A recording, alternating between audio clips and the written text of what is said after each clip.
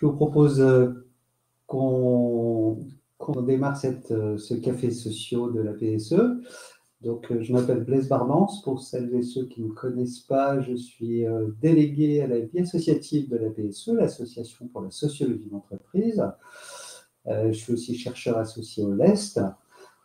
donc, je suis ravi de, de vous accueillir tous en ligne pour ce café social complètement virtuel.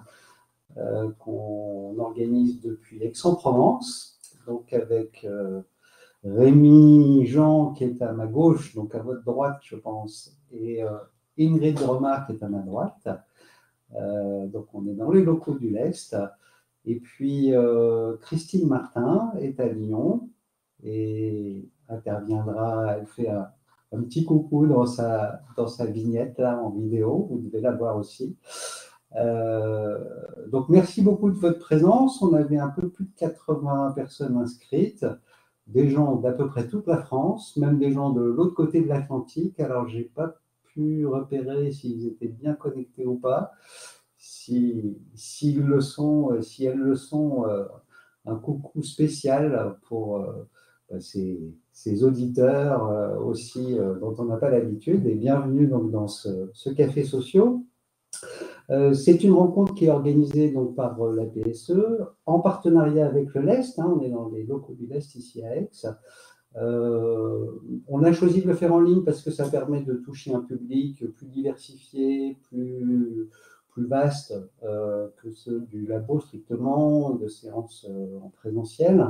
Et c'est tout à fait logique par rapport au projet de la PSE qui est de faire partager l'utilisation des sciences sociales dans les entreprises, d'explorer les liens entre euh, la théorie, la pratique, la compréhension, l'action. Donc euh, voilà, ça va être le sujet central d'aujourd'hui, hein, puisqu'on va parler de, de l'ergologie, de la rencontre de l'ergologie. Certains d'entre vous doivent très bien connaître le sujet, d'autres beaucoup moins. Ça va être une découverte.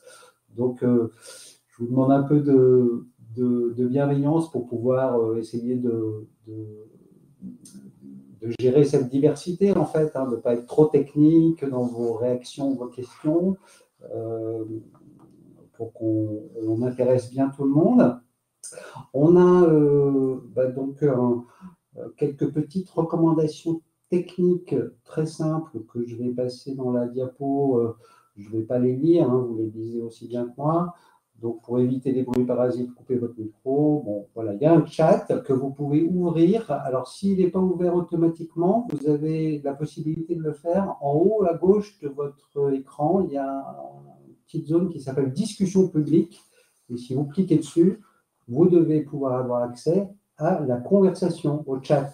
Voilà. Donc, n'hésitez pas à l'utiliser au fur et à mesure pour dire un petit mot, pour euh, avoir une réaction, une question.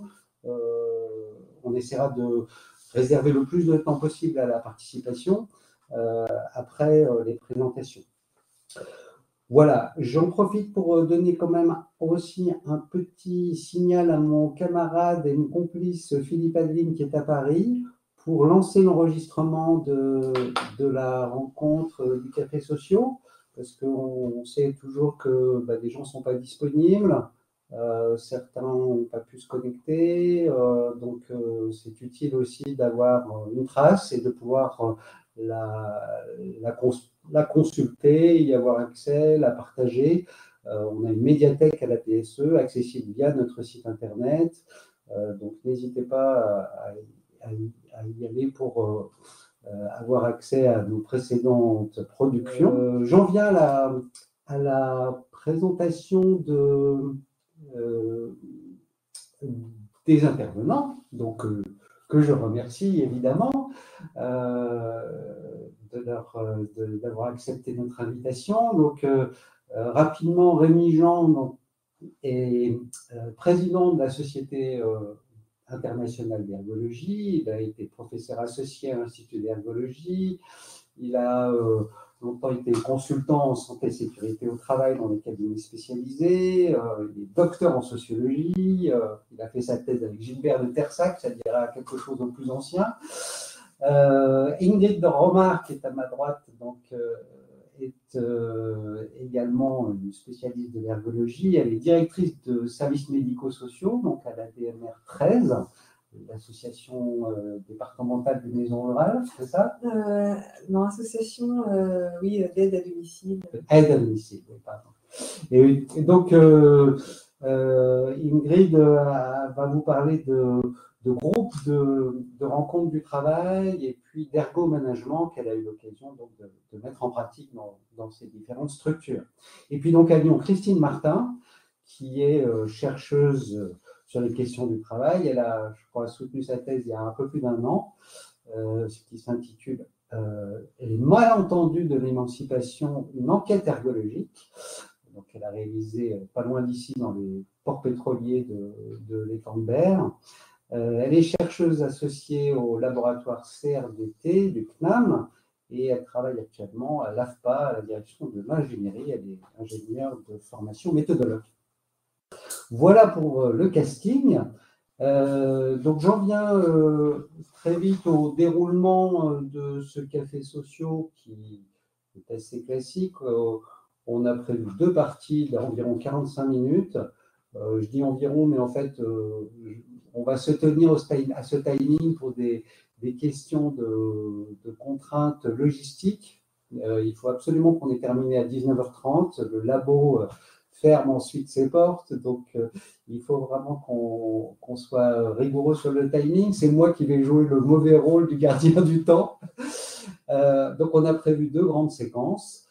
Euh, une séquence de présentation sur les méthodologies, les expériences de l'ergologie. Donc, je ne reviens pas sur les détails. On va rentrer dans le vif du sujet tout de suite, hein, avec les différents intervenants que je viens de présenter, évidemment.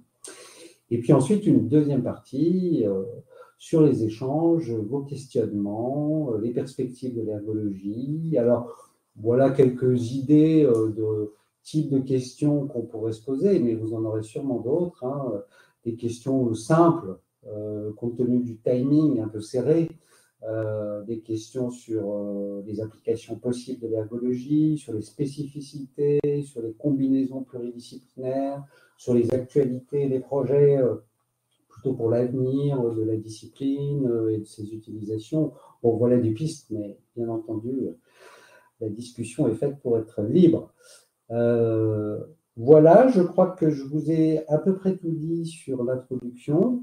Donc, euh, si vous le voulez bien, je laisse la parole à mon, à mon acolyte euh, euh, Rémi, qui est à côté de moi, qui va commencer par rentrer dans le vif du sujet. Donc, Rémi, à toi la parole.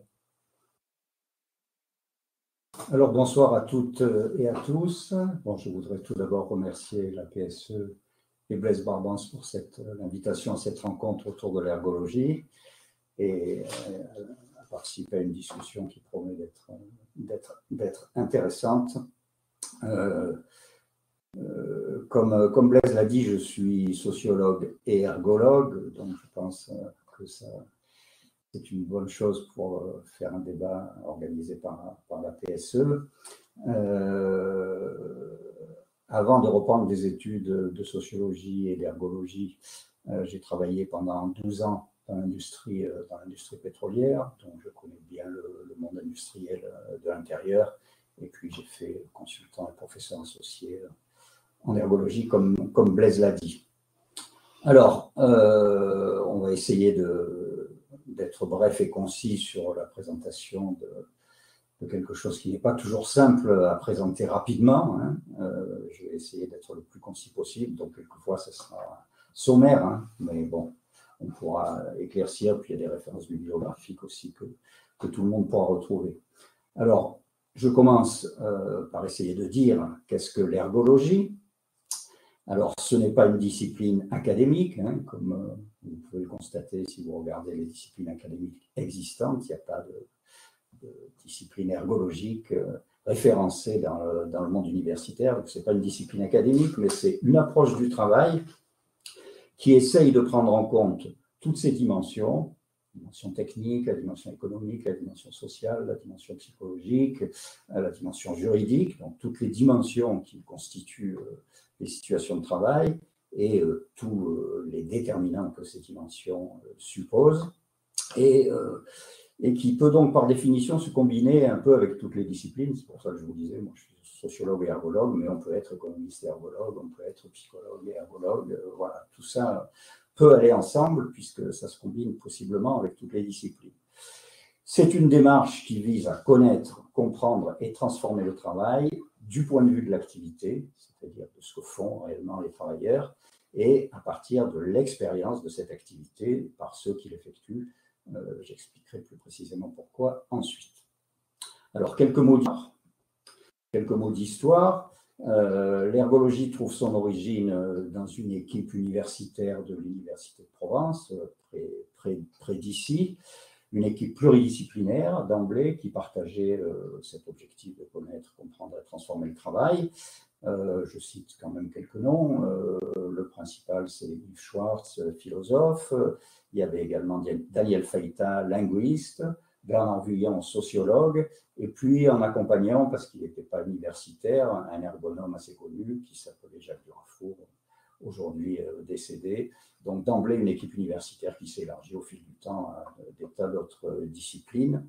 Et euh, cette équipe était euh, essentiellement nourrie par les apports intellectuels du philosophe Georges Canguilhem, de l'ergonome Alain Wissner et du psychologue italien Ivar Rodon. Hein, c'est les références, j'en dis pas plus sur ces références, mais bon, si vous voulez comprendre l'ergologie, il faut un peu s'intéresser à tout ce qu'ont fait ces, ces personnes qui sont un peu les fondatrices intellectuelles, on va dire, de la démarche ergologique. Alors l'ergologie euh, a commencé à se développer dans l'université euh, au début des années 80 par la mise en place de dispositifs de formation continue pour des salariés, puis par un diplôme universitaire et par un DESS d'analyse pluridisciplinaire des situations de travail. Au début, on disait pas ergologie, on disait analyse pluridisciplinaire des, situations de travail. Ensuite, il y a eu un master d'ergologie dans les années 2000 et puis euh, des formations continues, notamment en, euh, risques, psychosociaux qui continuent à exister encore euh, aujourd'hui. Une des caractéristiques importantes de ces formations, c'est qu'il y a toujours eu un mélange entre des étudiants en formation initiale de toutes les disciplines et des salariés en formation continue de toutes fonctions, y compris des cadres, des syndicalistes et de tous les secteurs, que ce soit industriel, fonction publique. On a toujours un mélange très important et ce mélange a toujours permis une dynamique intéressante et euh, enthousiasmante, même on peut dire, dans les débats que ça permettait entre les enseignants et les étudiants et entre les étudiants entre eux. Ça a permis aussi de développer intellectuellement l'ergologie par toutes ces rencontres qui se faisaient dans, la formation.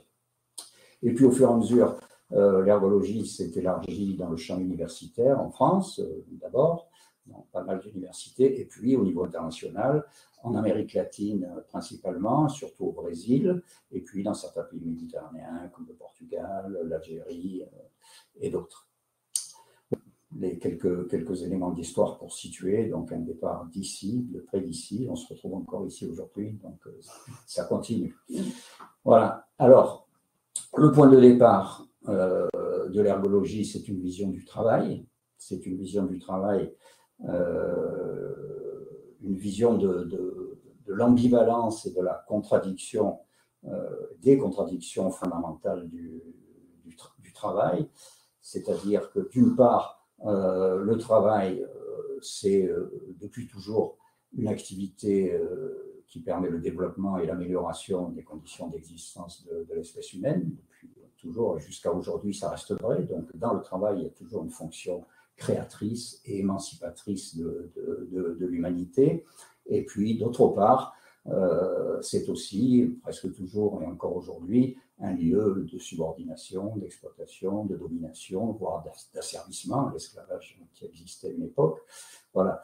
Donc la première fonction, hein, c'est une fonction, euh, le développement et l'amélioration des, des, conditions d'existence, c'est une fonction créatrice, c'est une fonction émancipatrice du travail, ça permet à l'humanité de se développer, se renforcer, se construire. Et puis d'un autre côté, il y a, avec ce que je disais, une logique de dépossession, d'aliénation qui est aussi, euh, qui est aussi toujours présente. Et ces deux dimensions, elles sont toujours présentes aujourd'hui, comme elles l'ont été dans, l'histoire, elles sont présentes à peu près euh, dans, dans, dans, tous les pays. Euh, alors, cette contradiction fondamentale, on va dire, elle s'accompagne, elle se combine avec une contradiction plus concrète, on va dire, sur le, travail comme, activité. Hein, c'est-à-dire que, bon, là, on peut peut-être passer à la, à diapo suivante, ça permettrait de gagner un peu de temps. Euh, c'est-à-dire que le, travail est toujours euh, en partie hétérodéterminé, c'est-à-dire déterminé par un ensemble de normes, de prescriptions, de procédures, de règles juridiques, de moyens de travail qui préexistent à l'activité, qui sont là avant et qui déterminent cette activité. Bon, c'est des choses qui sont de plus en plus importantes. Et euh, c'est aussi une activité qui est déterminée par les sujets du travail eux-mêmes, euh, leurs connaissances, leurs valeurs, leurs besoins, euh, leurs, caractéristiques physiologiques, psychologiques, biologiques, leurs envies, leurs désirs, tout ça, ça détermine aussi l'activité de travail, même les activités les plus, on va dire, hétérodéterminées, comme le travail à la chaîne taylorien à l'époque, il y avait toujours aussi une part de créativité, euh, d'innovation qui existait dans ces activités. Ça a été d'ailleurs très bien étudié par l'ergonome Jacques Durafour à une époque, qui fait des recherches sur le travail à la chaîne, montrant comment ce travail ne se réalisait pas toujours comme prévu, mais pouvait être plus efficace par les initiatives qui étaient prises par les salariés eux-mêmes. Bon, voilà, tout ça, c'est une vision fondamentale du travail, donc cette contradiction fondamentale, mais aussi euh, euh ces tensions entre euh, hétérodétermination et autodétermination, entre les normes antécédentes et les sujets du travail. Alors en ergologie, on, a une dénomination pour cette contradiction. On dit que dans le travail, il y a toujours une contradiction entre l'usage de soi par les autres et l'usage de soi par soi. Cette contradiction est toujours présente dans l'activité. Euh, voilà. Donc, euh, donc euh, c'est à partir de cette vision du travail hein, et à partir de cette, de cette part de créativité, comment dire, impossible à supprimer dans le travail, que la démarche ergologique se fonde.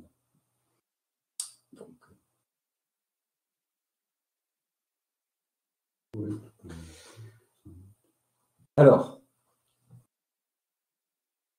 je vais essayer de présenter brièvement euh, la démarche euh, ergologique. Je vous ai dit qu'elle s'appelait euh, auparavant, avant que le concept d'ergologie soit, créé, nous appelions ça analyse pluridisciplinaire des, des situations de travail. Pluridisciplinaire, c'est-à-dire la volonté de prendre en compte l'ensemble des déterminants de l'activité, les hétérodéterminants et les autodéterminants, euh, ce qui suppose de faire appel à, toutes les disciplines. Hein. Pour être très simple, bon, difficile de comprendre les situations de travail sans faire appel à des notions d'économie, sans faire appel à des notions de technologie, sans faire appel à, d'autres notions. Hein. Ce n'est pas forcément celle qu'on maîtrise le plus euh, ici, mais euh, quand on veut faire de, l'analyse réelle de la réalité, il faut prendre en compte toutes ces, toutes, toutes, toutes ces dimensions euh, de l'activité de, travail. Donc, euh, bon, c'est bien une analyse pluridisciplinaire. Donc, euh, cette analyse suppose donc des, connaissances hein, sur, sur, sur, ces aspects-là. Hein. Ça ne s'invente pas, ça ne s'improvise pas. Donc, il faut faire appel à toutes les ressources qui sont possibles pour, pour faire cette analyse. Mais il y a une ressource fondamentale qui n'est pas toujours prise en compte les, par les analystes du travail, mais que l'ergologie veut prendre en compte comme ressource incontournable et fondamentale, c'est l'expérience du travail portée par les travailleurs eux-mêmes. Cette expérience du travail, elle nous paraît absolument fondamentale pour comprendre, analyser euh, n'importe quelle situation de travail. Donc il faut en passer par là, et donc il faut faire en sorte de créer des conditions pour que cette expérience du travail, elle puisse s'exprimer, et elles puissent être prises en compte.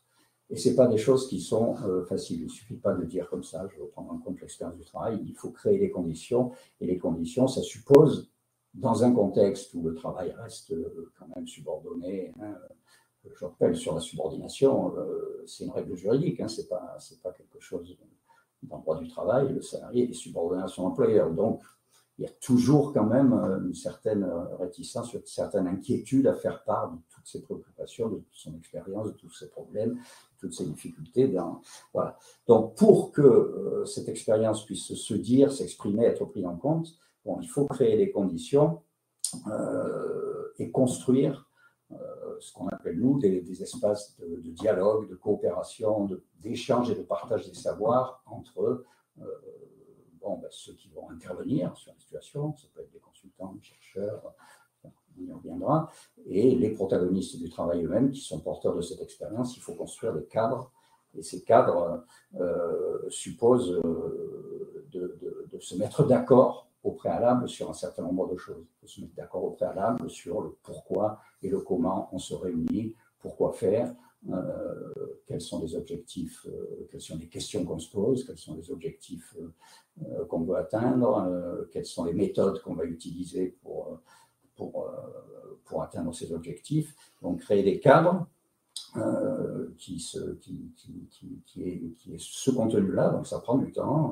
c'est il, faut, il faut poser les bases, il faut changer pour que la coopération se fasse de manière égalitaire. Hein, c'est ça qui est très important, qu'elle ne se fasse pas par.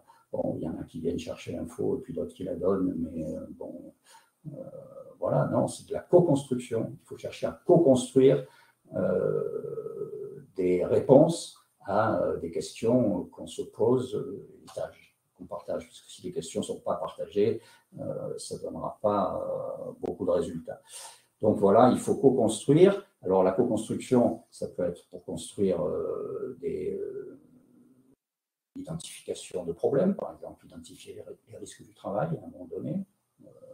identifier les risques du travail, ce n'est pas toujours facile. Il faut co-construire une démarche pour produire de la connaissance sur, sur les risques. Ça peut être aussi co-construire des propositions d'amélioration des situations.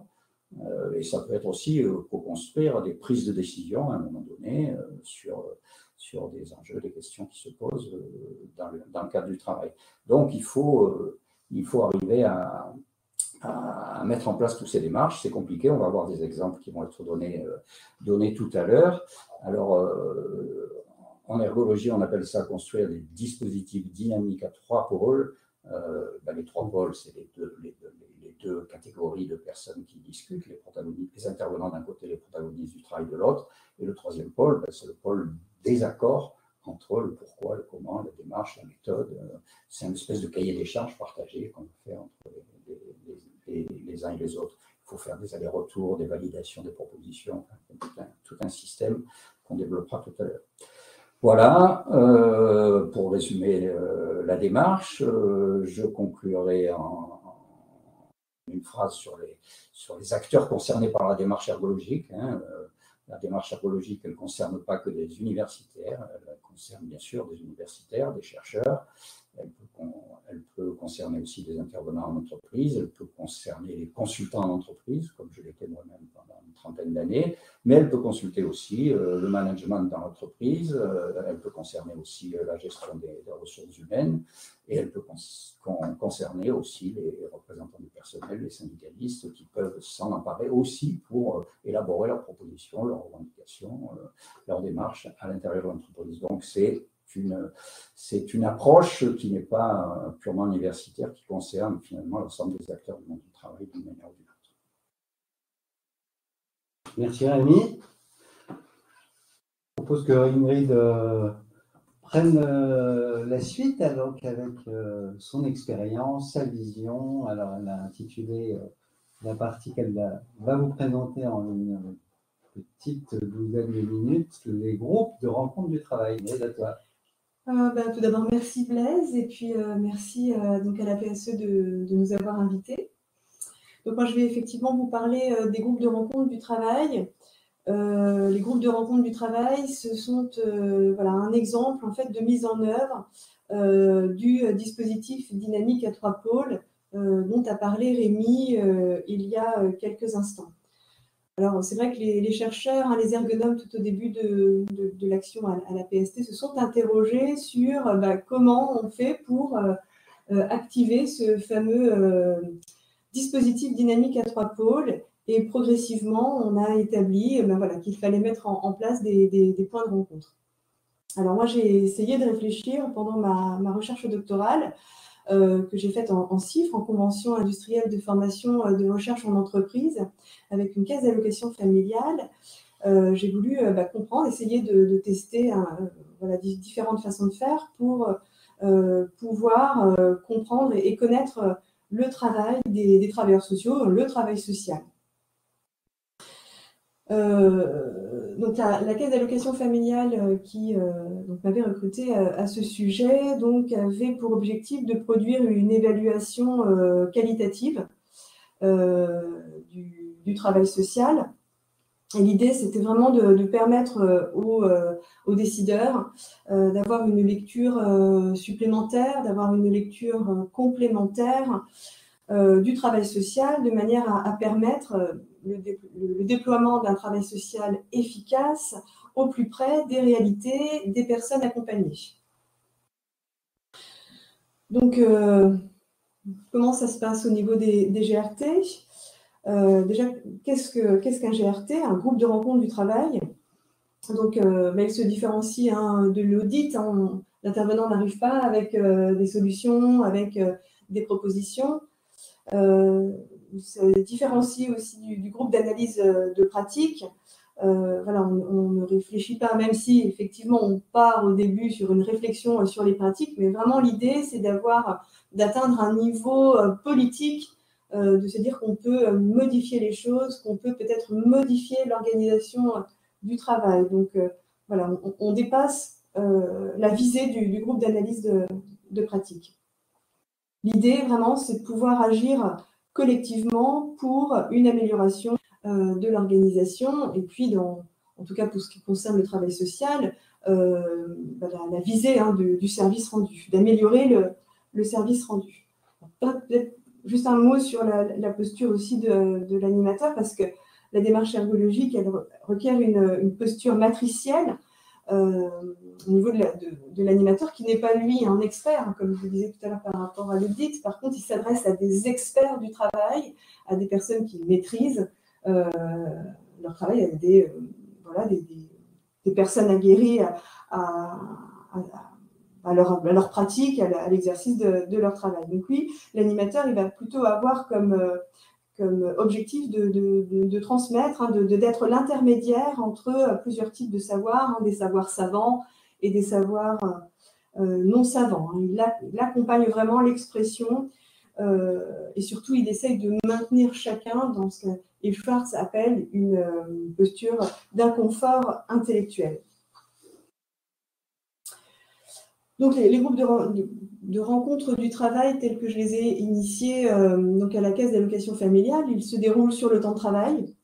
Et ce sont des, salariés qui sont réunis euh, en groupe homogène. Ça veut dire qu'ils ont euh, une même fonction ou un même métier. Hein. Par exemple, le groupe des travailleurs sociaux, le groupe des secrétaires, des cadres hiérarchiques, des cadres techniques Donc l'idée, c'est aussi, euh, puisqu'il peut y avoir une circulation entre euh, différents types de savoirs, bah, l'idée, c'est de pouvoir aussi euh, mélanger différents types à différents niveaux hiérarchiques.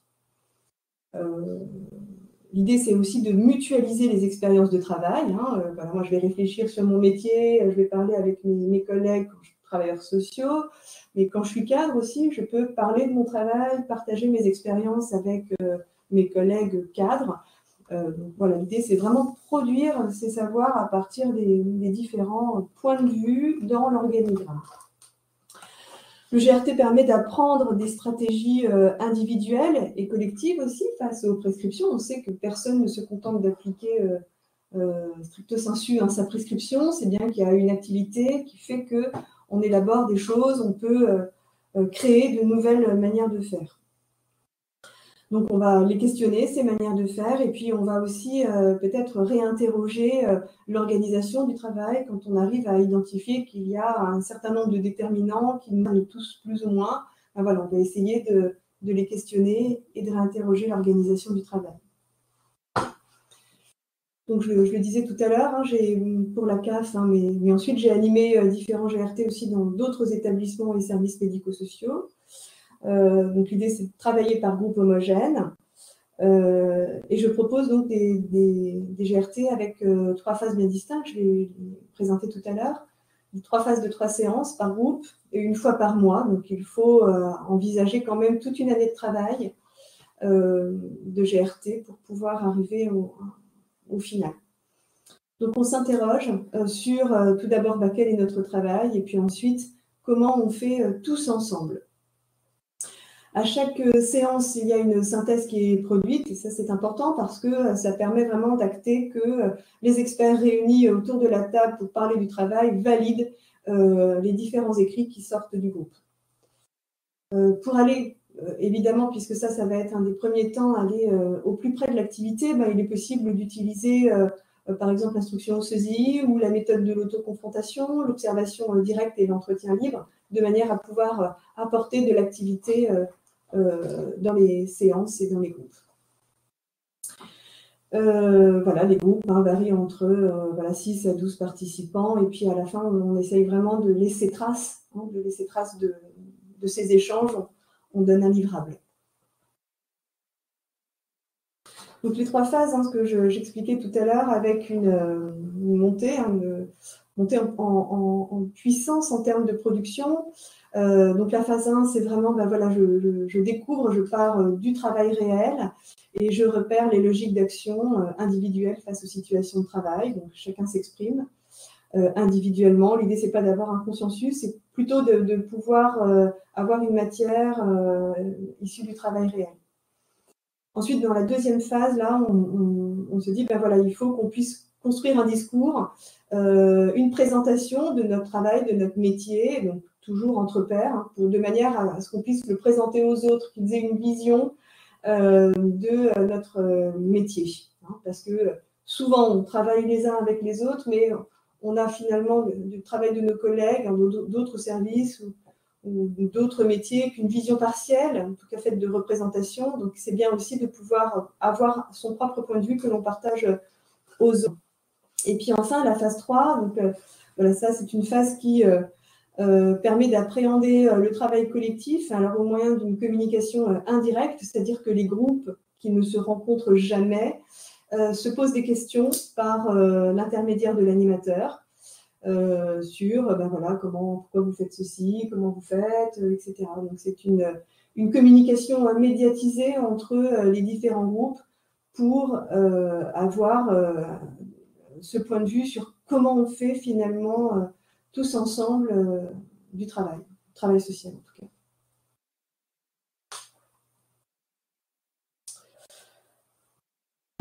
quelle transformation, que peut-on attendre finalement du GRT Donc le GRT euh, incite les, salariés à se connaître, je le disais tout à l'heure, hein, pouvoir euh, connaître euh, voilà, ses collègues, de, reconnaître aussi ce que chacun, ce que ça coûte à chacun de pouvoir effectuer le travail, de ce qui est fait individuellement et collectivement, mais aussi de, clarifier hein, quand on fait équipe et quand l'objectif c'est de, faire équipe, il faut bah, pouvoir connaître ses limites, nos limites, mais aussi les limites euh, des autres, hein, euh, donc les, connaître les limites et clarifier les rôles et, les attendus de chacun.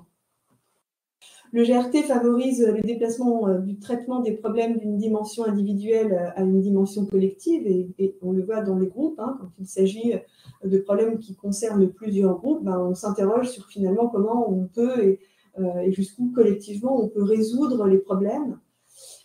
Euh, c'est partager aussi avec d'autres euh, ses ressentis, ses choix euh, et les solutions trouvées face, face aux, contraintes hein, du travail. Donc là, on, peut agir sur certains facteurs de risques psychosociaux, comme les exigences émotionnelles, les conflits de valeurs, les, rapports sociaux, le soutien collectif, les marges de manœuvre, etc. différents GRT qu'on a pu proposer dans les établissements sociaux et médico-sociaux avaient euh, cet objectif-là, hein, d'agir sur les RPS et aussi euh, de préserver la qualité de vie au travail. Donc pourquoi il y a transformation? Ben, Il y a transformation par euh, le fait d'examiner, d'analyser ce qui relève de l'usage de soi par soi et, par les autres, et puis de prendre conscience de ce qui détermine. Hein. Ce qui nous fait changer, ce qui nous permet d'agir, c'est de prendre conscience de ce qui nous détermine. Dans les GRT, effectivement, ce qu'on peut repérer, c'est qu'il y a une conscientisation en, trois dimensions, euh, individuelle, collective, sociale, individuelle. Déjà, je, prends conscience que euh, je ne me contente pas d'appliquer la règle, mais je fais bien un visage de, moi-même, hein, de, mes facultés euh, psychiques, de, de, qui je suis, pour pouvoir répondre à ma prescription. Ensuite, il y a une prise de conscience collective parce que si moi je renormalise, hein, eh bien les autres également. Et, du coup, bah, la manière dont cette personne ou mes collègues vont envisager le travail, ben, peut-être que du coup, ça me permet d'envisager moi le travail d'une manière différente. Et puis enfin, il y a une conscientisation euh, sociale parce que, euh, ben, en fait, on est là, on, est là pour quelque chose. Hein. Si on est là réunis tous ensemble, c'est bien que, je parle pour le travail social, c'est qu'on a bien un service à rendre à la collectivité. Euh, on, est là pour une même raison, donc il faut qu'on puisse voilà, en discuter et voir comment, comment on s'organise et comment on y arrive. Voilà, pour, euh, pour terminer et pour conclure, hein, dans les différents euh, GRT, alors l'idée c'est d'avoir un peu un, retour de ce qui s'est passé euh, auprès de ces personnes, auprès des, des, participants, avec voilà, des réponses majoritairement positives sur le fait que les participants portent un regard différent sur leur travail, mais aussi sur le travail de leurs collègues, ils prennent conscience aussi parfois de, ce que ça coûte, de, de, ce que les collègues sont obligés euh, de faire pour réussir. Et puis, euh, voilà, est-ce qu'il y a des changements euh, Ce qui s'opère après un GRT Alors, effectivement, la plupart des participants répondent oui, parce que, ben, voilà, notamment dans la prise de conscience, il peut y avoir des, tout petits changements. Hein. le fait simplement de prendre conscience que parfois je fais, il y a eu des glissements de tâches et que je, fais le travail d'autres, eh ben, on peut organiser les choses différemment. Voilà pour. Merci beaucoup Ingrid. Je propose de passer tout de suite la parole à Christine sans beaucoup de transition, simplement pour dire qu'on passe d'un univers euh, de service à un univers industriel. Et puis, euh, mm-hmm. c'est un autre contexte, d'autres questions. Donc, Christine, à toi la parole. Oui, merci. Euh, ah, ça,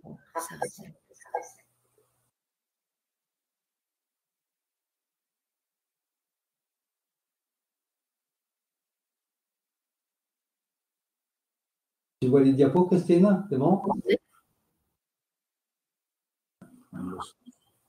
Vous m'entendez? Oui, oui, on t'entend très bien. Très bien. Euh, oui, bon, bah, donc merci pour l'invitation. Effectivement, un changement de, lieu, une même, euh, un même euh, projet, en tout cas, puisque moi, comme Ingrid, c'est le fruit d'un travail de thèse en CIFRE, donc dans les, dans les ports pétroliers de Fosse et Lavera.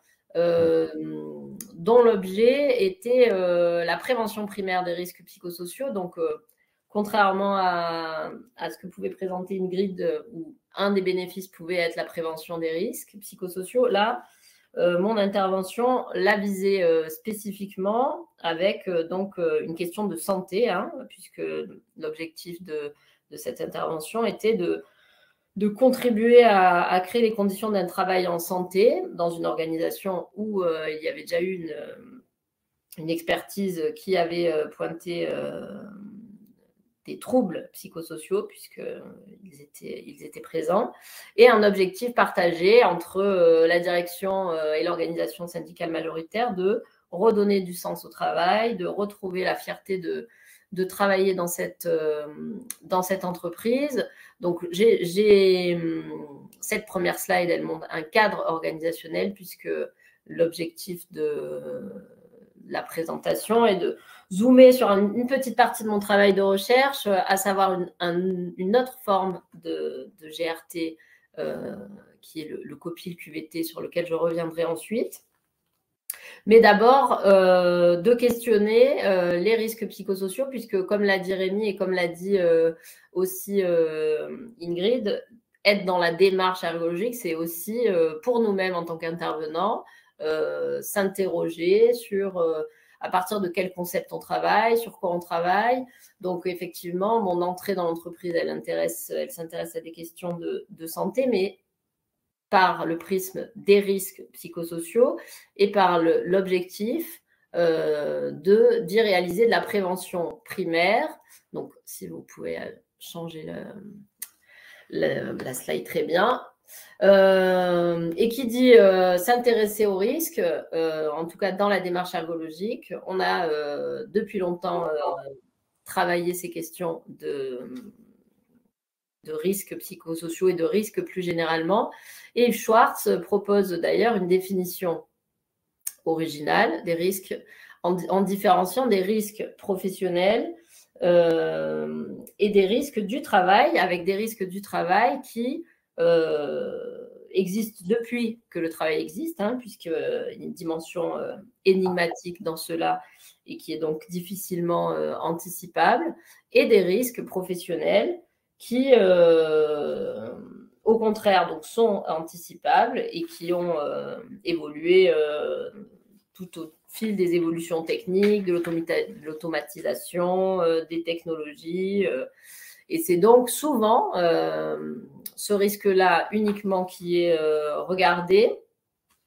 Et ma proposition plus conceptuelle pour commencer, c'est de regarder cette définition des risques au prisme des différentes typologies de prévention qui sont sur la, la slide suivante, puisque effectivement, aujourd'hui, on parle de trois types de prévention, hein, une prévention tertiaire, une prévention secondaire et une prévention primaire, qui est celle qui est la plus plébiscitée dans tous les différents euh, textes de loi euh, les plus récents euh, et les lois, y compris les derniers accords interprofessionnels, qui visent cette action préventive de prévention primaire qui vise à réduire les facteurs des risques à l'origine et à la source, donc en questionnant l'organisation du travail. C'est bien pour ça que mon travail dans cette entreprise, dès le début, a visé une prévention primaire des risques psychosociaux. Il n'était pas question de, de faire le travail d'un service HSE, mais bien d'être plus ambitieux et de questionner en profondeur l'organisation du travail. Donc dès le début, c'est là-dessus que ça a été, euh, on, a, on a eu un point d'accord sur cette question de, de prévention primaire et qui fait le lien avec cette question des, risques du travail et, malgré tout euh, une dimension euh, énigmatique et un travail qui, qui doit être euh, en profondeur et qui a dû interroger l'intervention dans l'entreprise. Donc, je zoome spécifiquement ce soir sur cette question du GRT qui, qui, n'a pas la même forme et ça montre aussi la diversité euh, des modalités d'intervention de, qu'on peut avoir s'appuyant sur la démarche ergologique, puisque dans le cadre de mon intervention, le GRT était donc un copil QVT, donc un comité de pilotage qui habituellement dans les organisations euh, et dans les interventions sur les risques psychosociaux est le lieu euh, de rencontre entre la direction, les élus et des salariés, qui dans le cadre de mon intervention a été uniquement constitué de, salariés volontaires, volontairement sans membres de la direction et sans euh, élus, mais par contre avec des représentants de chacune euh, des directions, puisque une des hum, difficultés de l'entreprise était aussi un travail en silo avec des directions qui ne se connaissaient pas, un travail euh, de chacun qui, était assez peu connu et qui s'est donc étalé euh, pendant euh, une durée de quatre ans avec euh, des réunions mensuelles et puis des interventions avec des, des, invitations du président, des élus, mais avec un fonctionnement de ce groupe qui est resté tout au long de, mon intervention dans l'entreprise, respectant les principes qu'a présenté Rémi, à savoir un, dialogue des savoirs avec et un même projet, un même objectif qui était contribuer à cette euh, volonté de retrouver du sens à travailler dans cette entreprise et y retrouver euh, de la fierté. Donc plusieurs euh, modalités d'intervention. je vais faire rapide, mais en tout cas des pratiques d'observation sur le terrain. On a commencé par ben, les membres du groupe ont commencé par s'observer, observer l'activité les uns des autres justement pour appréhender cette méthode, pour ensuite contribuer à à évaluer les risques psychosociaux et construire le document qui était demandé, le, document unique d'évaluation des risques psychosociaux, puisque malgré, euh, enfin, en tout cas, l'originalité souvent des tests chiffres, c'est qu'à la fois on, a un projet de recherche et à la fois on doit tenir un projet d'entreprise, une demande d'entreprise, et en l'occurrence la mienne était de répondre à des injonctions, euh, y compris externes, de la CARSAT, de la médecine du travail, puisque euh, l'entreprise était attendue véritablement sur un plan d'action concret et des résultats sur la question euh, sur la question des risques psychosociaux. Euh, on peut passer à la question de quelques résultats euh, sur le, ce, GRT. Ben, comme je le disais, des, résultats à différentes échelles. Hein. Le premier a été assez euh, important dès le démarrage sur cette mise en dialogue interdirection, puisque chacun des salariés représentants de sa direction est allé observer quelqu'un d'une autre direction, euh, justement pour se rendre compte de la diversité, en présentant également euh, à l'ensemble de l'entreprise quelle était la démarche originale d'être euh, un groupe de salariés volontaires porteurs de cette démarche de prévention, avec la bénédiction et le suivi de la direction comme des élus, ce qui était là aussi une, démarche, une démarche originale.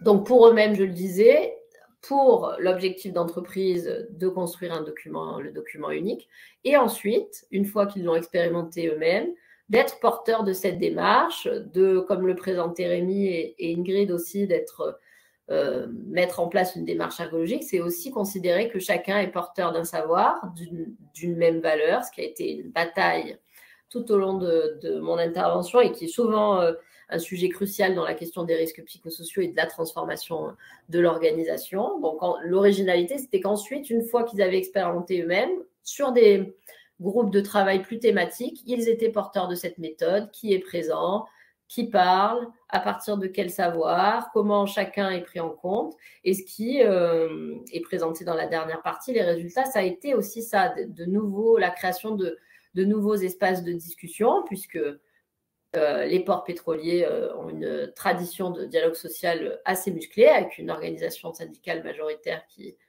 laisse pas toujours et pas facilement la place à, d'autres groupes. Et là, du coup, c'était en confiance avec des salariés qui ramenaient les sujets du terrain, y compris en instance, aux à l'organisation syndicale majoritaire, mais aussi à la direction ce qui a quand même euh, permis euh, de, faire émerger de nouveaux sujets, y compris dans le lien avec la hiérarchie, puisque, bon, je pense, on pas le temps de revenir sur les exemples, mais euh, une des, un des points qu'on a pu faire, c'est, ça a été de cartographier pour chacune des directions euh, sortir de l'organigramme, merci, et de venir sur les activités, ce qui a déjà été euh, la cartographie en elle-même et sa construction a déjà été un grand travail. Et ensuite, on a poussé encore plus le, travail en euh, confrontant une évaluation sur le fonctionnement et l'organisation, celle du comité de direction et celle des salariés, soit concernés, soit concernés parce que membres d'une direction annexe, toujours ces membres du, du qui ont euh, questionné et interrogé la direction sur euh, la gradation qu'elle donnait sur le fonctionnement euh, et l'organisation de, chacune des activités. Et puis, on a aussi voilà, construit un, mode opératoire pour construire des groupes de travail, pour essayer de transformer en mode opératoire comme les salariés de cette entreprise en avaient l'habitude, une méthode qui dit, qui parle, comment on se on vérifie qu'on est bien d'accord sur la commande initiale, comment on la valide dans le temps, quelle traçabilité il y a en proposant un compte rendu, comment je vais vérifier les informations. Donc, quelques exemples à la fois méthodologiques de, ce qui a été fait et puis de, concrètement ce qu'il en est resté, euh, ce qu'il en est resté dans l'entreprise. Et pour conclure, bon, parce que euh, effectivement, mon travail de thèse a été assez long et la prévention des risques psychosociaux est un, sujet euh, complexe et difficile, particulièrement pour atteindre euh, la question euh, de la prévention primaire, puisqu'on y vise la transformation et la modification en profondeur des organisations pour qu'elles ne soient plus génératrices de stress, ce qui est quand même une ambition à part entière, et qui nécessite que, tout le monde soit d'accord pour discuter l'organisation au sens large. On l'a peu dit, mais la démarche ergologique euh, et nos concepts nous obligent aussi à, aller dans le micro d'une petite activité et à questionner dans le macro l'organisation telle qu'elle est. Euh, dans ce dispositif dynamique à trois pôles qui, dans euh, son troisième pôle, qui peut aussi se, définir comme celui d'un monde commun à construire. Et Blaise l'a rappelé, moi, mon, le concept qui m'a intéressé dans ma thèse est celui de l'émancipation. Donc, là aussi, pour conclure, voilà, la démarche ergologique et ses concepts permettent aussi, à partir d'une intervention assez classique, on pourrait dire, de prévention des risques psychosociaux dans une entreprise, de questionner des concepts plus philosophiques comme celui de l'émancipation. Merci beaucoup, Christine. Merci pour le timing. Je demande peut-être euh, un petit mot, alors non pas de conclusion, mais de synthèse, on va dire, de, transition à Rémi, euh, à partir de, ces, deux, illustrations, euh, de ces, deux contextes. Est-ce que tu veux dire un petit mot plus général Et puis on vous laisse la parole ensuite à la salle. Oui, oui, Très vite, non, c'est pour, euh, pour conclure un peu sur, sur les, euh, euh, l'avenir et, le, et les, perspectives, les perspectives ergologiques. Juste quelques mots. pour dire que comme perspective fondamentale, on a parlé de la méthodologie et tout, mais bon, l'ergologie, c'est pas une discipline, mais c'est pas non plus une secte. Hein. C'est-à-dire que bon, on n'est pas là pour l'entre-nous, l'entre-soi. Ce qu'on cherche, euh, c'est à construire des convergences euh, les plus larges possibles entre tous les, les équipes et les acteurs qui euh, veulent connaître, comprendre, transformer le travail, même si c'est quelque chose qui, avec des démarches et des méthodologies différentes, mais confronter ces démarches, ces méthodologies, chercher tout ce qui est en commun pour que bon, ben, les, transformations se fassent. On a quelques exemples, mais euh, le besoin de transformation il est très très important dans le monde du travail et donc il faut qu'on converge le plus possible les uns et les autres. Donc ça c'est vraiment l'idée aussi de, l'ergologie. Et puis euh, cette convergence, je dirais, elle ne concerne pas que des universitaires, elle concerne tous les acteurs du monde du travail, elle peut concerner des associations, on en a eu ici. Euh, la PSE, il y en a d'autres. Elle peut concerner aussi le mouvement syndical, euh, euh, pas seulement sur le terrain, mais aussi dans, ces, confédérations qui se posent des questions de, ce genre. Bref, euh, voilà, ne pas rester enfermé sur des pratiques limitées, mais aller le plus loin possible dans les convergences pour faire changer les choses. Alors, oui, quelques, petites références sont données là sur la la dernière diapo sur le, site de la SIE, la revue qu'on peut trouver sur le site, euh, un autre site qui est plus euh, franco-français sur euh, l'ergologie en France, un contact si vous voulez entrer en contact avec nous, et puis des initiatives qui sont prévues très prochainement. ici, dans notre région, dans le département, nous tiendrons le 15 juin prochain une journée de débat et d'études sur la thématique écologie et travail, hein, qui est vraiment une thématique d'actualité. Il y aura donc des, communications et aussi euh, un débat le 15 juin, c'est un samedi, mais euh, on vous invite le plus largement possible. Et puis, euh, sur le plan international, on a un congrès de l'association d'ergologie latino-américaine qui va se faire en Colombie à la fin septembre prochain, auquel aussi il est possible de participer quand on n'est pas latino-américain, parce que c'est sur des questions qui concernent tout le monde, même si la réalité est évidemment bien différente euh, là-bas et ici. Ok, super. Euh, alors, euh, ben, place aux réactions, aux questions. je vous remercie déjà pour certains d'entre vous d'avoir alimenté le fil de discussion. Donc, je me fais votre porte-parole et puis après, ben, n'hésitez pas à prendre directement la, main, la lever, prendre l'initiative. Donc, il y, a une première question sur la pérennisation des démarches ergologiques. Hein, euh, alors peut-être c'est plus pour Ingrid et Christine. Euh, à partir de vos deux exemples, par exemple, est-ce que ben, voilà, il y a, la, suite euh, Est-ce que c'est toujours en cours? Est-ce que c'est selon vous? Alors, ben, pour la suite, par exemple, d'un GRT, hein, c'est peut-être ben, d'utiliser le fameux rapport, hein, la trace écrite qui a été produite pendant plus d'un an et puis euh, de l'utiliser pour mettre en place euh, des, petits changements dans, l'organisation. Les directeurs peuvent s'en emparer, euh, les chefs de service, voilà, les salariés eux-mêmes, puisque ben, le rapport est distribué à, tout le monde, donc il est accessible à tous. De pouvoir aussi, ben, c'est des savoirs qui appartiennent non seulement aux, participants, mais qui euh, plus largement peuvent représenter un, groupe de, salariés plus importants. Donc, c'est aussi pouvoir faire valoir voilà, une représentation du travail et des demandes de modification, par exemple. Mmh Christine, toi, tu dirais quoi sur la pérennisation? Euh, je serais plus mitigée. Euh, je pense que sur la méthode, en tout cas, au moins, ils l'ont expérimenté. Euh, Muriel Prévost-Carpentier parle dans, un de ses articles d'un essaimage. Bon, je pense que, en tout cas, il reste un document unique qui, du point de vue des risques psychosociaux, est bien plus étoffé et précis que plein d'autres documents uniques où il n'est pas, par exemple, à l'échelle de l'unité de travail et que il n'a pas été. Euh, donc, de toute façon, celui-là, il est mis à jour. Donc, j'imagine qu'il va rester encore un peu.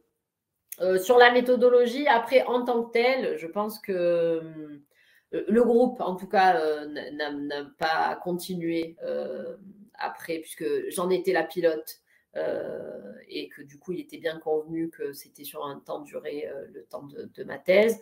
Pour autant, euh, les, groupes de travail, les espaces de discussion avec l'encadrement, l'enjeu de la communication, bon, je pense qu'il reste des, graines qui ont été semées. c'est comme ça que ça, ça, se continue, la, la, pérennité, plutôt des petites graines semées qu'une véritable pérennité du groupe en tant que tel. D'accord. Merci Christine. Bon, alors peut-être après la question du, quand, est-ce que ça dure encore euh, dans le temps Il y a la question du où. Est-ce que est-ce que c'est l'ergologie, quelque chose de vraiment très franco-français? Alors en même temps, on a compris que c'était développé, ça a été bien, bien essaimé euh, en Amérique latine notamment. Bon, est-ce qu'il y a d'autres exemples? Là, euh, Jean-Paul Cadet pose la question de, des pays anglo-saxons, bon, de la dimension très internationale. Euh, qu'est-ce qu'on pourrait en dire, euh, Disons que le, pays où l'ergologie s'est le plus développé, c'est le Brésil. C'est vraiment très impressionnant même. C'est plus développé qu'en France aujourd'hui. Euh, je pense que bon, ça tient aussi à des aspects culturels qui sont qui sont plus ouverts à l'inter et la pluridisciplinarité. On est moins enfermé au Brésil dans des disciplines qu'on l'est en France. Il y a beaucoup plus de coopération. je pense que c'est un peu vrai un peu partout en Amérique latine, euh, dans, dans, dans l'ensemble. Euh, après, les, les, il, y a, il y a des, euh, des ergologues partout, on va dire, mais c'est quand même beaucoup moins important. Et c'est vrai que c'est plus faible dans les pays anglo-saxons d'une manière générale. Alors, je ne saurais pas vraiment expliquer pourquoi, parce que je n'ai pas, pas la compétence là-dessus. Je ne pense pas que ce soit un hasard, parce qu'il y, a, y, a, toujours des, raisons objectives qui font que, euh, bon, je ne connais pas trop le monde universitaire euh, anglo-saxon ou allemand. Euh, voilà, mais il y a quand même des contacts partout, des gens qui, quand on fait un congrès international, on a quand même des gens qui viennent de, de tous les pays. il y a des choses qui ont été faites quand même un peu partout, mais c'est beau, c'est beau, c'est beaucoup moins important. Je vous dis aussi sur la, question précédente. Mm. Euh, alors, c'est, une, réponse indirecte, mais je pense qu'il faut quand même euh, s'interroger et prendre en compte euh, les évolutions du droit du travail sur, sur les possibilités de faire avancer les, choses. Hein. Il y a un point dont, dont on n'a pas parlé là, mais qui est très important sur les possibilités que ça ouvre et que ça a fermé en fait euh, de, faire avancer des, choses. Ça a été par exemple la, disparition des CHSCT, hein. des CHSCT il y, a, quelques années qui étaient centrés sur les questions de sécurité au travail. On parle des risques psychosociaux, on en parle beaucoup. les CHSCT c'était un instrument très important lutter contre les risques psychosociaux. Et ça permettait d'organiser de la démarche ergologique à partir des représentants du personnel aussi. Hein, donc ça, ça, compte beaucoup. Voilà, il y a des évolutions qui sont, qui sont problématiques, euh, je pense. La chose, hein, l'ubérisation aussi du travail, euh, le travail à distance pose beaucoup de problèmes aussi qui demandent à être discutés. Euh, pas, il n'y a pas que du négatif dans le travail à distance, loin, de là, mais ça pose beaucoup de problèmes nouveaux dont il faut s'emparer euh, aujourd'hui. Il ne faut pas rester sur une vision du travail euh, non plus dépassée dans la réalité des, activités aujourd'hui. Donc c'est un appel encore plus fort à la convergence de tout ce qu'on peut faire pour faire avancer les choses. Bon, très bien. Alors, je vois qu'il y a d'autres euh, contributions là, un peu longues, donc euh, le temps de les prendre, les lire. Euh, ça m'amène quand même aussi à, la question que tu évoques, Rémi, et puis qui était déjà un peu en germe aussi dans les, deux exemples que nous ont évoqués et détaillés Christine Ingrid. C'est la question du quoi c'est-à-dire euh, la démarche ergologique, est-ce qu'elle s'adapte particulièrement bien à certaines thématiques et certains sujets, même si elle a euh, ambitieuse de transformer euh, le travail de manière la plus large possible. Hein. Bon, il faut aussi quand même de temps en temps commencer par un bout, bon, essayer de traiter, d'avancer de manière concrète sur un sujet plus précis peut-être. Donc moi j'ai compris que bah, vos deux exemples tourner quand même beaucoup autour de la question des risques psychosociaux, voilà, et que ça fonctionne dans ce cas, sur ce sujet-là. Là, Rémi, tu évoques comme ça rapidement le travail à distance. Ma question, autrement dit, ce serait euh, dans les objets, euh, dans les sujets à traiter par l'ergologie, est-ce qu'il y a des choses actuelles qui brûlent les lèvres ou qui évoquent aussi des choses dans l'assistance hein, euh, parce que il y a certains praticiens de l'ergologie aussi parmi vous. Donc, n'hésitez pas à faire part de vos témoignages ou de vos expériences. Est-ce qu'il y a des objets spécifiques de l'ergologie ou est-ce que c'est tellement transversal que ça pourrait s'adapter finalement un peu à tout terrain Qu'est-ce que vous en diriez? Christine, je te vois euh, regarder. tu dirais quelque chose de, de particulier là sur cette question ou pas? Non, non, je, lisais la dernière qui était Comment devient-on ergologue Ah oui, d'accord, on va y venir, on va y venir. Bon, sur l'objet, vous n'avez pas de réaction particulière? Non, je pense qu'on s'inscrit aussi, dans, en tout cas pour les GRT, dans euh, les travaux sur les espaces de discussion. Euh, on le sait, hein, la parole est aussi euh, un libérateur pour, pour les personnes. On n'a pas forcément beaucoup d'opportunités à pouvoir parler de son travail, parler du travail au travail. Donc ça permet euh, voilà, des échanges, euh, permet aussi de, se connaître, peut-être de, fluidifier aussi euh, l'organisation, les, manières de faire. après sur la question quel est l'objet de, de l'ergologie, l'ergologie c'est aussi l'analyse des épistémologie euh, de l'activité humaine. On parle du travail, mais c'est de manière plus large des activités humaines. Donc, euh, c'est aussi une grille de lecture qu'on peut avoir euh, sur différents plans de l'activité humaine. Hmm. Oui, non, moi je pense l'ergologie, elle n'est pas appropriée à tel ou tel, à tel ou tel sujet. Euh, ce qui est important, c'est d'intervenir sur les sujets qui concernent le plus euh, les travailleurs dans leur réalité de, dans la réalité de leur activité. Donc, euh, ça peut être les sujets dont tu as parlé, hein, les risques psychosociaux, on va trouver ça un peu partout aujourd'hui. c'est sûr que c'est pas pour rien que les deux, les deux, les deux interventions là étaient en rapport avec ça. Ça, a été longtemps. Hein, ça a été lié aussi à des évolutions du, Code du travail. Hein, la santé mentale, c'est rentré dans le Code du travail en 2001 ou 2002, je ne sais plus. Hein, avant, c'était que la santé physique. Donc, c'est des choses qui sont, qui sont récentes. Euh, le télétravail, je pense que c'est ce qui va être de plus en plus important que, c'est vraiment un problème dont il faut s'emparer. Bon, ça ne concerne pas forcément toutes, toutes les activités, mais c'est un problème dont il faut s'emparer parce que ça change ça change quand même beaucoup la réalité du, travail, en particulier la, la, la, cloison entre la vie la vie professionnelle. Elle, a tendance à disparaître beaucoup et ça devient aussi de plus, en plus compliqué à, traiter. Et sinon, je pense que la question qu'on va aborder le 15 juin dans notre, dans notre journée d'études, écologie et travail, c'est vraiment une question d'actualité importante euh, pour, pour, beaucoup de milieux professionnels. Hein. Dans, les milieux industriels, c'est évident que les enjeux écologiques ils changent beaucoup. Euh, enfin, en tout cas, tendent à faire changer beaucoup de choses euh, dans, dans, l'activité, à la fois dans les modes de production, les moyens, l'organisation du travail, euh, mais, pas seulement. Bon, dans le monde agricole, on voit bien l'importance que ça, a pu prendre ces, derniers temps.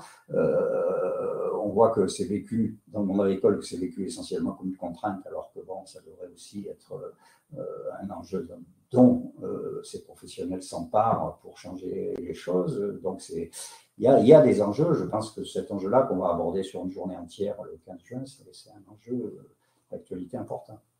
Et, pour compléter juste d'un mot, je pense qu'on peut citer aussi les travaux de notre collègue Tine, qui a sorti récemment le, fruit de sa thèse en livre chez Octare sur le travail en Afrique, parce qu'il y a eu aussi tout un travail d'ergologie, travail et développement qui s'est aussi intéressé au travail, mais au travail informel. Et, euh, et du coup, effectivement, avec les mêmes concepts, ça montre bien qu'effectivement, nous, on questionne sur la question des risques psychosociaux, mais le travail en tant que tel, y compris le travail informel, a été euh, questionné et a, nourri euh, la démarche euh, ergologique. Ok, super. Une question de mon camarade Philippe. comment devient-on ergologue aujourd'hui? Ben, il faut suivre une formation en, ergologie. Donc, il y, a plusieurs, universités où, cette formation se fait aujourd'hui. Euh, il y a l'Université de Strasbourg en sciences de l'éducation où il y a euh, des formations en ergologie, l'Université de Toulouse en sociologie. Euh, je vois qu'il y a Marcel Duc là, qui est dans notre, dans notre public qui fait ça. Il y a des formations au CNAM à Paris, à la Sorbonne à Paris en, psycho aussi. Donc il y a plusieurs, voilà, en France il y a ces endroits-là. Vous pouvez, vous pouvez trouver tout ça sur, sur les sites qu'on a mis en, en, référence. Euh, alors bon, pour être euh, précis et, honnête, euh, je dirais qu'il y a quelques difficultés ici dans l'université de, Provence sur le, maintien d'un master, enfin d'une formation ergologie au niveau master, qui est en train de se discuter. On est en train de, relancer ça avec la, la direction de l'université pour remettre sur pied euh, une formation qui s'arrête normalement à la, fin de, cette année. Et on a euh, une formation sur les risques psychosociaux en formation continue qui se trouve ici aussi, qui continue à bien marcher. Euh, voilà, donc c'est un enjeu aussi, hein, l'existence de l'université, de l'ergologie à l'université. C'est compliqué quand on n'est pas une discipline. On n'est pas une discipline, ça suppose beaucoup de volonté, d'énergie de la part de ceux qui sont engagés dedans. il y a beaucoup d'ergologues qui sont chercheurs associés dans des, laboratoires. Euh, c'est difficile d'arriver à, construire des équipes ergologiques qui fonctionnent dans l'université quand tout est organisé par, discipline au départ. Mais bon, la pluridisciplinarité, l'interdisciplinarité, ça existe. Il faut qu'on s'appuie là-dessus au maximum pour faire vivre l'ergologie dans l'université. Très bien. J'en profite, comme tu as cité Marcel Duc, et qu'elle a fait un long message dans la conversation bah, pour euh, vous proposez à tous de vous y reporter. Là. Elle suggère des, ateliers, un cycle de conférences là, qui s'appelle Animergo. Euh, elle donne tout le détail. Euh, je pense que vous pourrez en savoir plus euh, forcément auprès d'elle ou, via les références qu'a donné Rémi tout à l'heure, sur qui sont toujours en ligne là sur la diapo. Peut-être une autre question, alors plus sur la méthode.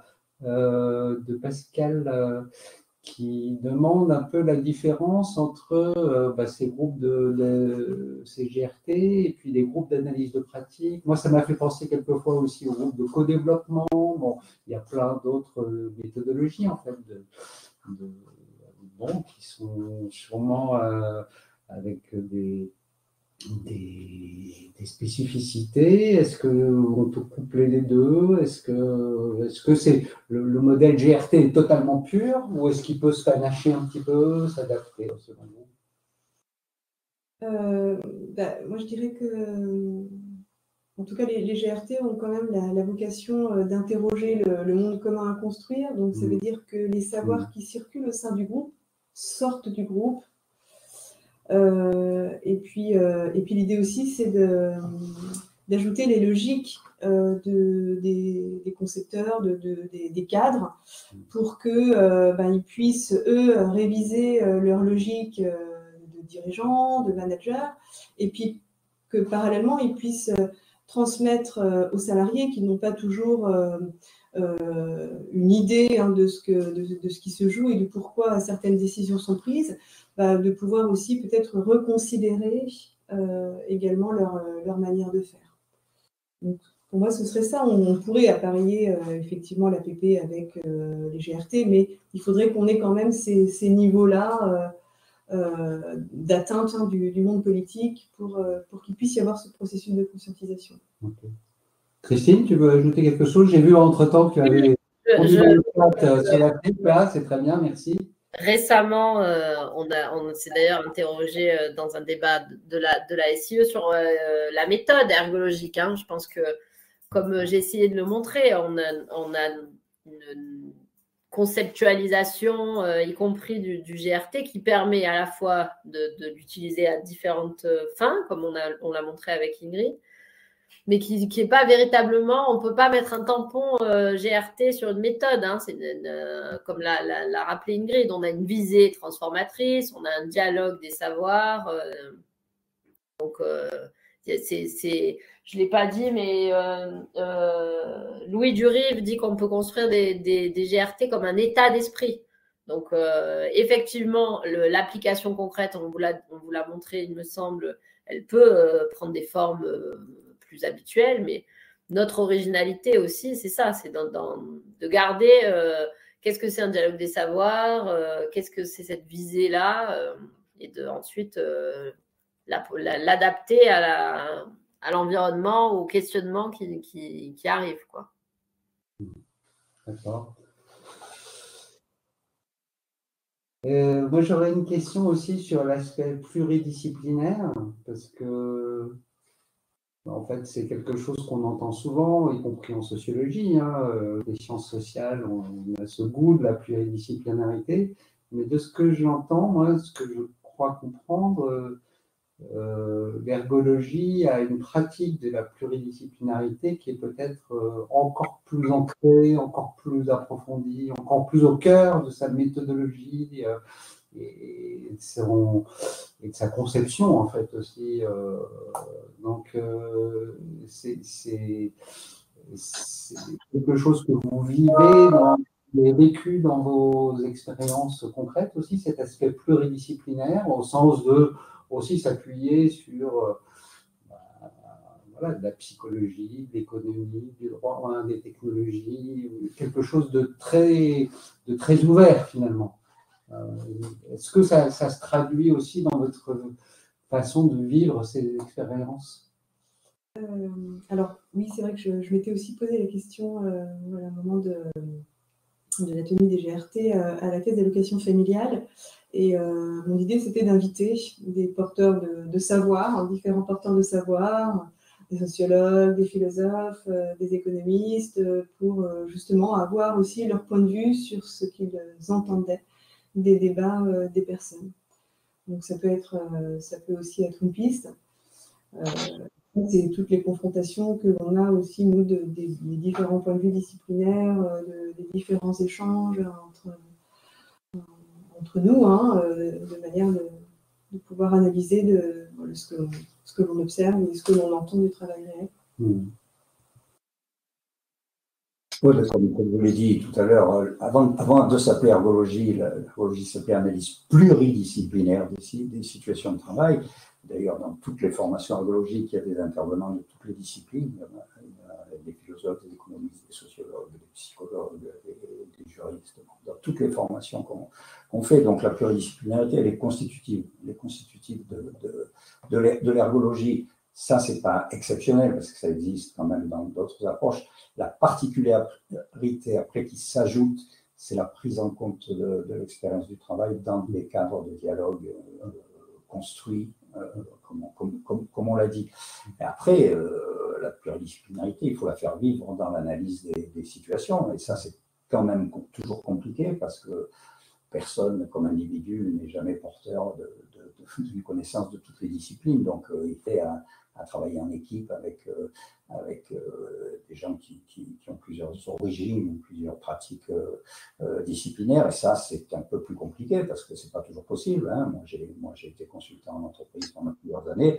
Beaucoup d'interventions, je les fais seul. Donc, ma culture, elle est plus sociologique qu'autre chose, mais l'ergologie permet de s'ouvrir, permet de s'ouvrir à d'autres choses, mais ne donne pas toutes les compétences pour connaître tous les aspects. Après, il faut savoir questionner faut aller chercher euh, les questionnements sur, euh, sur, sur, sur, les différents aspects. En tout cas, il faut, quand on fait de l'ergologie dans une entreprise, il faut fermer aucune porte de connaissance à la, réalité du travail. Il ne faut pas arriver avec euh, des idées préconçues sur, sur, sur toutes les choses. Il faut vraiment essayer de connaître, de comprendre la réalité.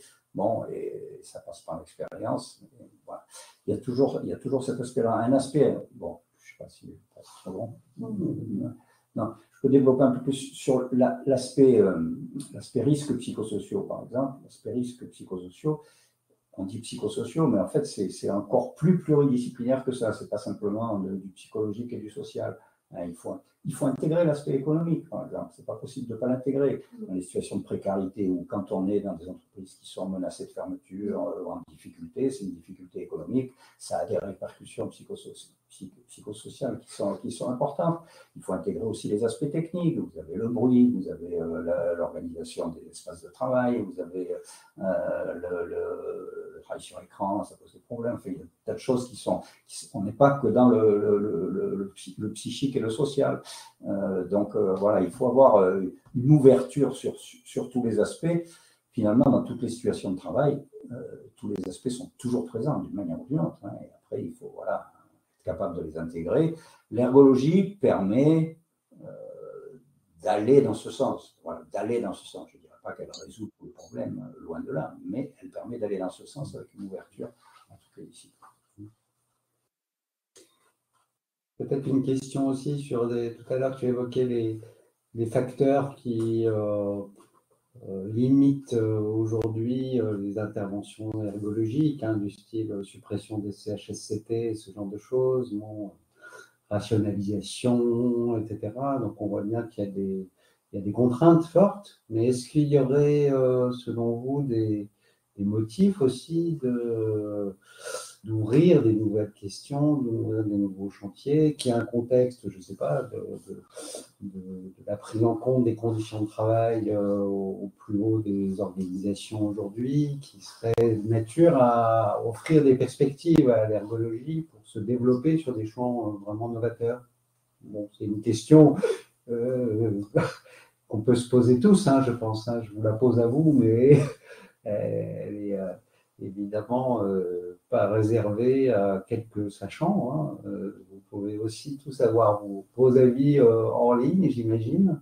Mais je ne sais pas, si vous, ça vous fait réagir, ça, des perspectives de, tiens, de nouvelles de nouvelles questions qui vous feraient envie en fait, hein, ou qui feraient, qui feraient, où il y aurait des vrais besoins, une vraie, une vraie valeur ajoutée particulièrement forte de l'ergologie euh, sur des tendances du monde du travail qu'on connaît aujourd'hui.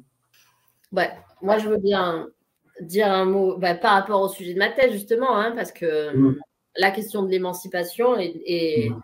j'ai choisi d'ouvrir ma thèse euh, en introduction sur le discours euh, des jeunes à AgroSup et il me semblait que justement l'actualité et ce que pourrait proposer l'ergologie, enfin en tout cas la manière dont l'ergologie pose le travail euh, dans sa dimension politique et transformatrice, elle trouve un écho aujourd'hui particulièrement à bon, ce qu'on cantonne, à mon avis, à tort, mais bon, en tout cas, ça permet au moins d'y mettre la lumière à ces nouvelles générations qui interrogeraient particulièrement et différemment l'entreprise, euh, leur, euh, position, leur fonctionnement, ce à quoi elles servent et qui choisiraient comme ça Enfin, en tout cas pour une partie, parce que ça, c'est quand même une manière aussi de présenter les choses de jeunes diplômés qui, euh, qui ont le luxe, on peut le dire, euh, d'être exigeants sur euh, les orientations sociétales et environnementales des entreprises. Mais en tout cas, moi, c'est ce qui m'a intéressé dans mon travail de thèse et à partir du concept d'émancipation, il me semble qu'il y a quand même une actualité par ces, par ces nouvelles générations, mais qui ne leur est pas entièrement propre, mais qui permet au moins de remettre le débat sur le devant de la scène, de qu'est-ce qu'on fait au travail, qu'est-ce qui s'y passe, et justement dépasser la question de on essaye d'empêcher de souffrir à euh, non, le travail est un lieu d'émancipation, est un lieu de rencontre, est un lieu de développement, est un lieu où j'agis en tant que citoyen, où j'agis euh, à la transformation sociale et, et, poser le travail sur, de cette manière-là, à mon avis, moi, remet la question, la démarche ergologique, bien sûr, comme un outil utile, euh, et permet de questionner. Et là, les concepts philosophiques aussi ils permettent parce qu'il y a des choses nouvelles à interroger et plus à réparer. C'est aussi euh, ce que j'ai essayé de, dire sur la prévention primaire. On vise la transformation en profondeur. On est aussi sur euh, une visée voilà, transformatrice qui, qui, semble remonter quand même et qui semble se poser comme un, un sujet d'actualité. Je crois que Jean-Louis Pépin a, une question depuis un moment. Euh, à vous d'enlever la parole. Ok, merci. Euh, tout à l'heure, la question était euh, à quels objets pourrait plus largement s'appliquer l'ergologie? Moi, la mienne, c'est à quelle entreprise, dans quelle entreprise se conduisent des démarches ergologiques. Euh, dans, dans, mon champ d'expérience, en l'occurrence euh, sur les risques psychosociaux, mais, mais, pas que, mais largement. Euh, ce à quoi je suis confronté, je suis pas le seul à en faire état, c'est euh, la prédominance de la, ce qu'on peut appeler la rationalité gestionnaire des entreprises. Pour le dire vite, ça veut dire que c'est euh, le système prescrit qui est considéré comme le seul qui tienne, et que pour reprendre la notion euh, de prévention primaire, euh, il y a une très grande difficulté à poser, même si on, les, les analyses les mettent en évidence, à, à, questionner, remettre en cause, transformer, faire évoluer euh, les causes, les facteurs de cause liés à l'organisation du travail au sens large du terme, dans, dans, dans, tout ce qui est prescriptif, au plan financier, au plan économique, au plan technique. Donc euh, là, moi, dans ce que j'ai entendu, j'ai entendu des démarches longues qui mobilisent quand même beaucoup de ressources en temps, en personnes, en nombre de personnes, en temps, mais aussi qui implique que les directions acceptent euh, un questionnement et une transformation euh, de ce qui est le, Saint Graal, c'est-à-dire la prescription. Euh,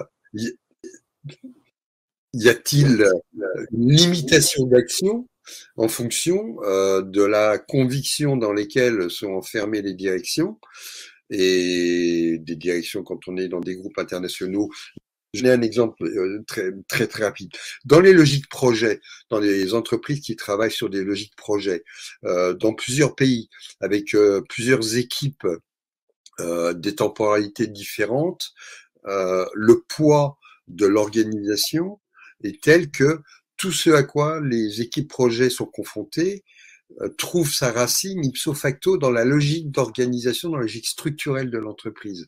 Euh, et je me dis comment euh, est-ce qu'un GRT et la, et la démarche hein, qui est associée hein, bien sûr à une cap comment arriver à convaincre une direction ou avez-vous à l'inverse buté sur des entreprises pour qui cette logique d'émancipation était pas recevable parce que contraire à la conviction profonde selon laquelle c'est la rationalité qui doit dominer.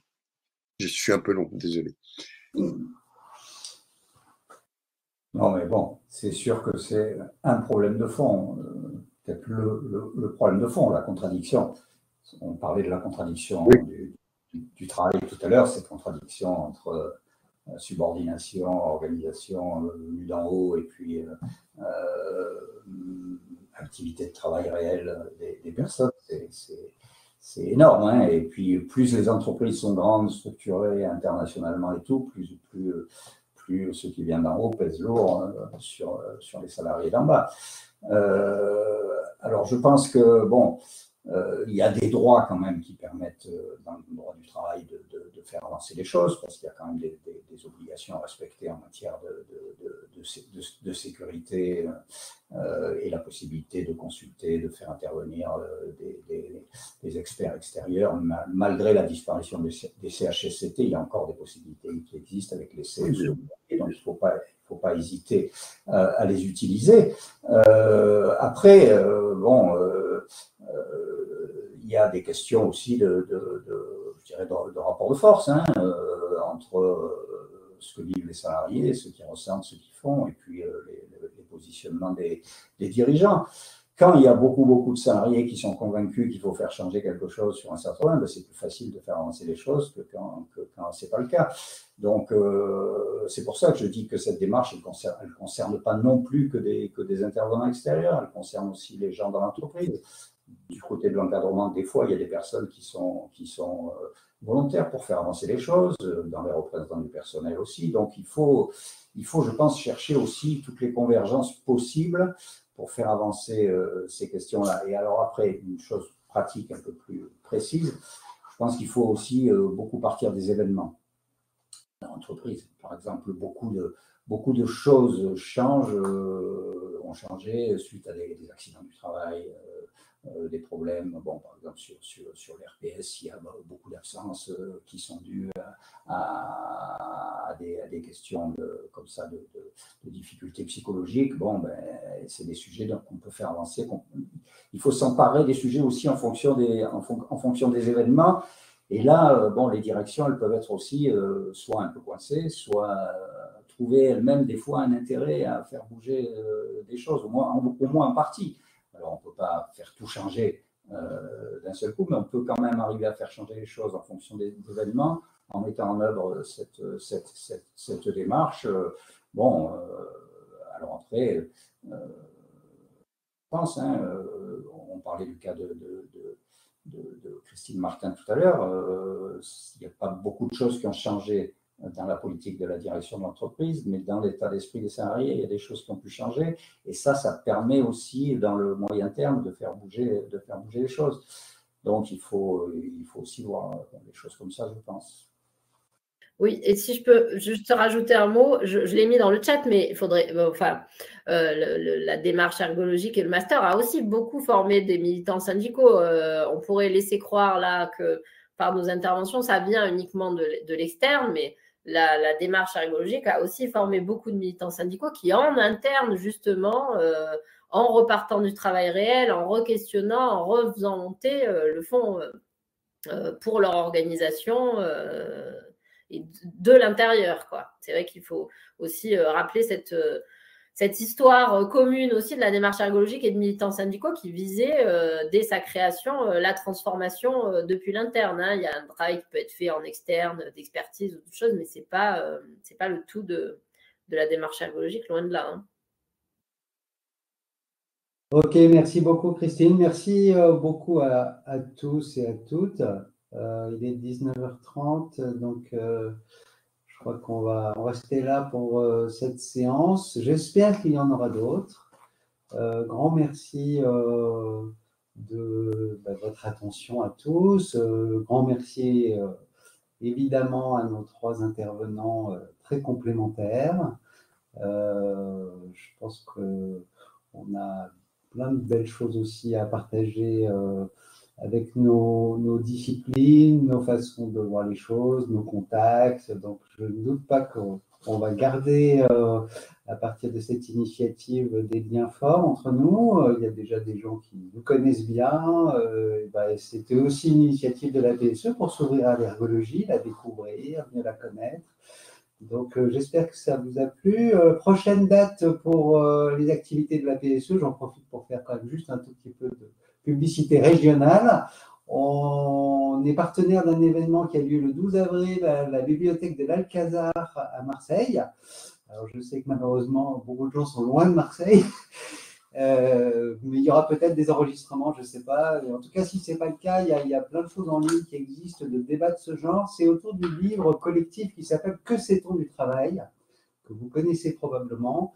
Donc euh, la BSE s'associe à l'étape marseillaise de présentation de certaines des contributions de ce gros bouquin, de cette somme, euh, en lien avec le LES, le CEREC, euh, euh, l'Institut régional du travail. Donc, tout ça aussi pour terminer sur une note un peu de euh, euh, volonté de partager, de mutualiser des choses, d'échanger entre nous euh, et d'éviter ce qu'on a, je pense, essayé de faire et, bien réussi, de ce cloisonnement en fait, hein, un peu des fois par méconnaissance entre euh, bah, des écoles, des chapelles, des disciplines. Donc, voilà, merci beaucoup. Belle soirée à, chacun, à chacune. Et puis, donc, à bientôt. Au revoir. Au revoir. Au revoir.